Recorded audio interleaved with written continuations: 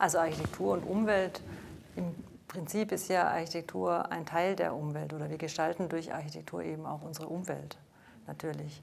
Und jetzt kann man sich natürlich fragen, wie man Architektur herstellt oder baut. Und wenn man jetzt über Holz und ähm, Architektur nachdenkt oder Holz und Umwelt, ist es natürlich aktuell gerade das Thema, dass man äh, darüber nachdenkt, wie man einfach energieoptimiert bauen kann zum Beispiel oder eben auch relativ wenig Ressourcen verbraucht. Und in, dem, in der Hinsicht ist natürlich das Holz dann plötzlich sehr interessant, weil es ähm, erstmal sehr wenig CO2-Bindung hat und wenig graue Energie bindet. Das ist so das Thema bei Holz, wenn man jetzt diese Frage so. Das ist aber natürlich nicht alles. Ein Holz ist ja natürlich auch ein ähm, per se ein nachhaltiges und langlebiges Material. Also mit Material ist es so, dass wir eigentlich eher versuchen äh, zu schauen, welches Material ist finden wir jetzt für diese Bauaufgabe für ähm, angemessen und auch für interessant. Also es ist gar nicht so, dass wir uns spezialisiert haben auf Holzbau. Es hat sich einfach in den ersten beiden Projekten so ergeben, dass wir da äh, viel mitgearbeitet haben. Auch, auch aus dem Grund, also Jan, der, mein Partner oder unser Partner, auch Jan, der hat, kommt aus dem Produktdesign auch und äh, hat natürlich von Haus aus auch zum Beispiel zu ähm, vorgefertigten Techniken. Das macht man im Produktdesign vielleicht eher noch auch oder beschäftigt sich noch mehr mit Vorfertigung mitunter. Und da war, äh, war einfach auch äh, die Idee, auch wegen Bauzeiten und wegen ähm, auch, äh, wie gesagt, aufgrund der Nachhaltigkeit des Materials Holz wollten wir mit Holz arbeiten. Und bei dem ersten Haus Juska war einfach das Thema Nachhaltigkeit und wir haben das Thema halt sehr versucht, sehr breit zu fassen. Also nicht nur jetzt Passivhaustechnik einzubauen und, ähm, und auch äh, nachhaltiges Material zu verwenden, sondern eben es ging dann noch viel weiter, indem man halt versucht hat, sehr kleines, kompaktes Haus zu bauen, wenig Quadratmeter zu bauen, eher wenig Kubatur und ähm, also man hat ganz viele Aspekte von Nachhaltigkeit versucht, da mit einzubauen. Und da war Holz ein Aspekt, aber ähm, und wir bauen auch gern mit Holz, aber es ist nicht so, dass wir uns auf Holzbau jetzt spezialisiert hätten, sondern hat, wenn sich das anbietet und für sinnvoll ist, dann nehmen wir das Material. Und wenn anderes Material sinnvoll ist, bauen wir mit einem anderen Material.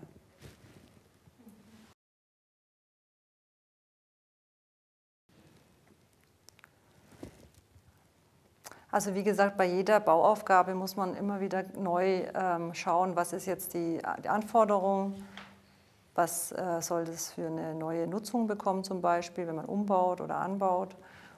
Und dann muss man eben von Fall zu Fall entscheiden, was das Richtige ist. Also es, ist, es gibt da eigentlich keine wirkliche Methode oder ein Rezept für uns, sondern wir schauen uns immer jedes, jede Aufgabe äh, neu an und überlegen dann, was wir für sinnvoll finden. Also was braucht die Familie, die da gerne einziehen möchte? Wie viel Budget hat sie vor allem auch? Und, ähm, und da ging es ganz viel natürlich auch um Budgetfrage und aber auch äh, darum, dass man einfach den Bestand ähm, bewertet in gewisser Weise und äh, entscheidet, was, ist, äh, was kann man verbessern, erhalten und was, ähm, was ist sowieso gut und was belässt man. Und dann äh, entscheidet man eben wirklich so einen kleinen Eingriff zu machen weil natürlich auch diese Materialien, die schon verbaut sind, ja schon eigentlich eine, eine große Energieaufwand darstellen. Aber es hat auch damit zu tun, dass natürlich dieses, der Bestand auch eine, eine gewisse gelebte Patina hat, die ja auch Atmosphäre ist und auch Geschichte erzählt und einen gewissen Charakter hat, den man vielleicht versucht rauszuarbeiten, damit zu arbeiten, mit, mit umzugehen und daraus dann auch äh, ein Haus zu machen oder ein Gebäude zu haben am Ende, was auch einen eigenen Charakter darstellt. Und eben nicht irgendwie ein Haus XY, was zwar neu ist, aber man vielleicht in der oder anderer Art schon 5000 Mal gesehen hat. Sondern das ist interessiert, uns interessiert einfach dieser Charakter, der da eingelebt ist in dem Gebäude. Und damit arbeiten wir eigentlich gern. Und das ist auch sehr inspirierend einfach, weil man ja was findet und dann schaut, was kann man machen. Das ist so wie Brigitte vorher, nachher. so ein bisschen. Und dann ist man, oh wow, schau mal, sieht ja doch ganz gut aus. Also, und da steckt einfach äh, viel so, ähm, da kann man eben auch viele Ideen entwickeln, weil es ist ja schon was da und dann kann man mit diesem Bestand einfach arbeiten und äh, das eben rausholen, was man gut findet und was jetzt vielleicht, äh, oft muss man auch zurückbauen. oft ist einfach in dem, in dem Bestand, den man vorfindet, dann irgendwie komische Fliesen noch reingekommen und dann da noch was gemacht. Und dann baut man ganz viel erstmal wieder zurück, weil oft der Eingriff vielleicht nicht besonders schön war, was dann gemacht wurde. Und baut oftmals, manche Sachen sind aber auch interessant, weil es so eine unterschiedliche Mischung gegeben hat. Also es kommt immer, man muss jedes für sich anschauen und dann entscheiden, äh, was man macht. Also wie auch da, es gibt kein wirkliches Rezept. Das macht es aber auch so unglaublich ähm, interessant, damit zu arbeiten. Also ich arbeite am liebsten eigentlich auch mit Bestand. Neubau ist ganz anders und hat andere Möglichkeiten und Potenziale, aber Bestand ist auch, ich sehe da auch eine große Zukunftsaufgabe für Architekten, mit dem Bestand zu arbeiten und da eben was rauszuholen am Ende. Weil ähm, da wirklich auch noch diese, diese Expertise und auch diese Kreativität einfach auch gefragt ist, in besonderem Maße auch. Und das ist nicht einfach, aber mir macht es viel Spaß.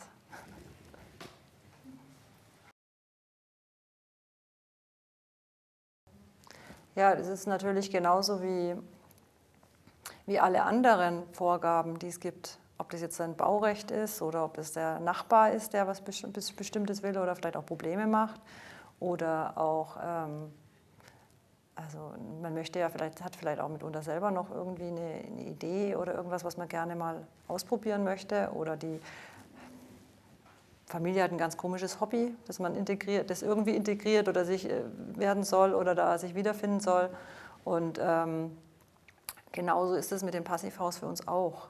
Aber es ist halt in erster Linie auch natürlich eine Art von Passivhaus-Technologie und man fragt sich auch, was kann man ähm, was heißt das eigentlich? Also wenn ich jetzt zum Beispiel Passivhaus baue und im Prinzip ist ja alles im Haus jetzt mehr oder weniger, hat die gleiche Temperatur. Ich habe keine kalten Flure mehr oder sowas, keine so starken Temperaturgefälle. Das bedeutet natürlich eigentlich, dass so ein freier Grundriss total gut möglich ist. Noch viel einfacher ist eigentlich. Und ähm, ich meine, im Prinzip ist die Passivhaustechnik ja auch, ähm, das wäre eine Frage, inwiefern äh, beeinflussen mich elektrische Leitungen im Haus. Also das ist, sind halt, ist halt oft wie so Technikkomponenten, aber eigentlich sieht man die nicht. Ja? Die baut man ein, wenn es jetzt um die Passivhaustechnologie geht zum Beispiel. Und äh, das andere, mit den ganzen Dämmanforderungen Dämm, äh, und so weiter, muss man einfach auch mit umgehen lernen.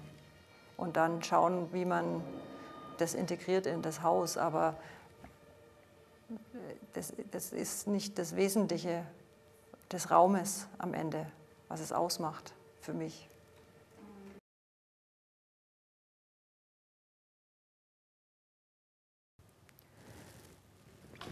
Also wir haben uns, ähm, ich weiß nicht, ob wir uns oft darauf beziehen, würde ich jetzt vielleicht nicht sagen, aber es ist so, dass um Stuttgart herum, wo wir einfach auch, äh, Stuttgart ist ein Teil von unserem Bürostandort sozusagen und da außenrum ist es einfach extrem zersiedelt und maßgeblich also geprägt von diesen Vorstädten.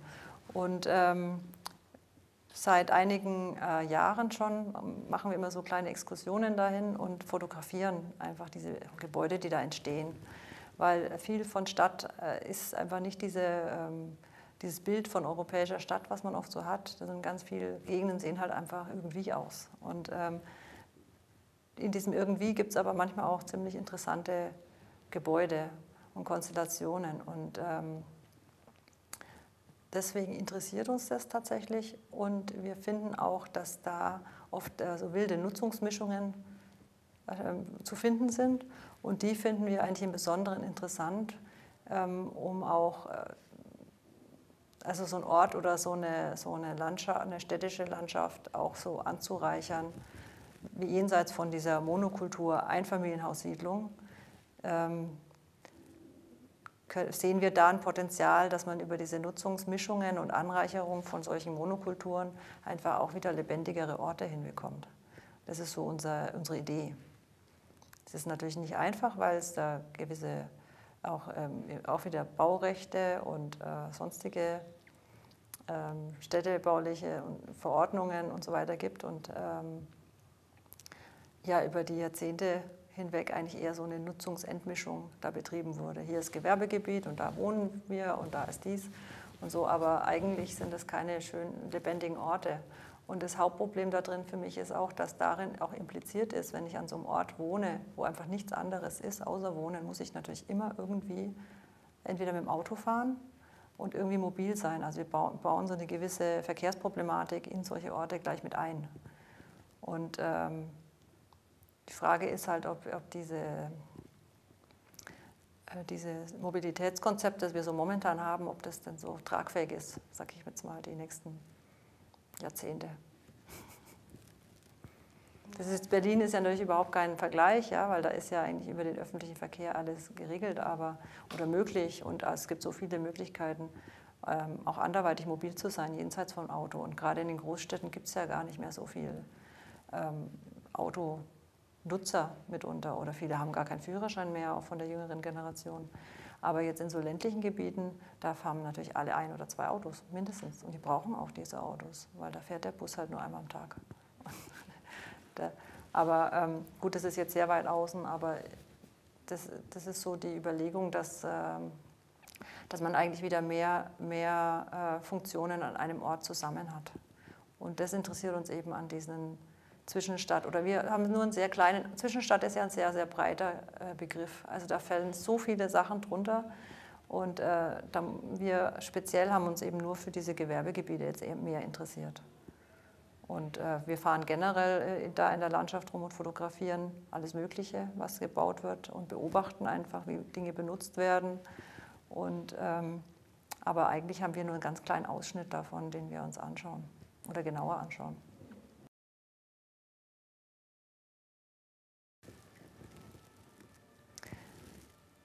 Da gibt es ganz unterschiedliche Bauherren. Also manche, die sind eigentlich froh, wenn man sie nicht so großartig damit behelligt, sozusagen. Und ähm, bei manchen, äh, äh, also wir versuchen eigentlich schon generell den Bauherrn immer eher mitzunehmen. Also nicht einfach irgendwie sagen, so hier, ähm, das ist jetzt euer Haus. Und das ist ja auch äh, schwierig, weil dann viele sagen, oh, der Architekt hat mir wieder irgendwie, ähm, der will sich wieder selbst verwirklichen und hat mir da wieder irgendwie was vorgeschlagen, sondern es ist ja schon ein Prozess, ein Miteinander. Und wir bauen auch ganz gerne Modelle einfach um auch den Bauherrn in die Lage zu versetzen, wirklich zu verstehen, was er da eigentlich bekommt, so ansatzweise und auch mitreden zu können und zu sagen, ja, nee, also irgendwie, das kann ich mir nicht vorstellen, da kann ich nicht wohnen oder also einfach um abzuschätzen, was braucht er eigentlich, wo fühlt er sich wohl. Jeder Mensch hat eine andere Vorstellung auch von, ähm, von, von ähm, von seinem häuslichen Umfeld oder von seinem, wo er, wo er wirklich auch sich geborgen fühlt zum Beispiel. Es gibt Menschen, die können gut in großen Räumen leben und es gibt Menschen, die können halt nicht in großen Räumen leben, die fühlen sich da einfach irgendwie verloren. Und ähm, da muss man einfach, und auch viele, manche können auch nicht mit diesem, mit verschiedenen Materialien. Es gibt Bauherren, die können keine gewendeten Treppen gehen. Also das, das funktioniert auch nicht, wenn man den Bauherrn das nie, dann nicht mitnimmt. Weil dann macht man irgendwie fünf gewendelte Treppen und dann irgendwann sagt er, nee, also ich kann eigentlich, ich will das nicht, ich will nur immer im 90-Grad-Winkel um die Treppe gehen. Und ganz oft haben wir auch schon die Erfahrung gemacht, dass der Bauherr am Anfang das vielleicht nicht will oder vielleicht auch nicht ganz versteht oder ähm, sagt, ja, okay, dann machen wir das so. Und nach einem Jahr kommt dann der Bauherr und sagt, ah, ich habe da gesehen, da im Sommer, wenn dann das Licht dahin hinfällt, da ist ja ganz toll hinten im Garten und so. Und sagt, ja, genau. Deswegen haben wir das Haus auch so hin verschoben, dass es diese Stelle dann gibt. Ja? Also da, da ist äh, viel Qualität, wird am Anfang äh, noch gar nicht so richtig wahrgenommen.